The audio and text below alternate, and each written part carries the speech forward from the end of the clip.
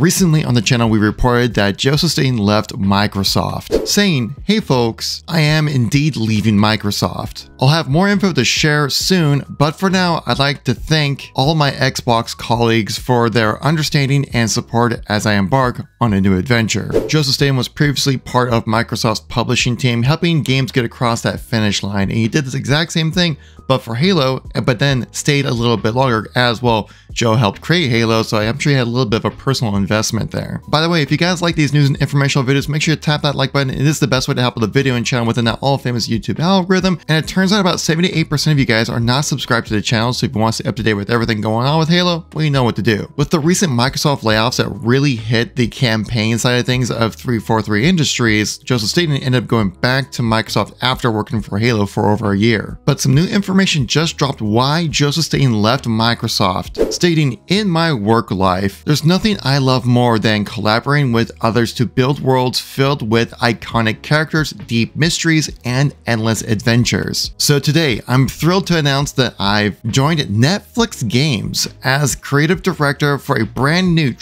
AAA multi-platform game and original IP. Let's go. This position is very new as it actually was revealed back in November of 2022 that Netflix Games had a AAA title specifically within the job description saying a brand new AAA PC game. Given that AAA titles are a really high investment when it comes to development, you probably need to bring in the right people, and we all know Joseph Staten is definitely one of those people. Joseph Staten coming in as a creative director, being he's one of like the idea guys behind the game. And if he just got brought on for that position, that means this Netflix game that's a AAA quality title is years away from being released, probably years until it actually gets revealed to the public. While on the topic of creative directors, 343 recently lost one of their creative directors. If you want to know more about that story, check out the video on the screen right now. Thank you all for watching, catch you on the next one. Peace out.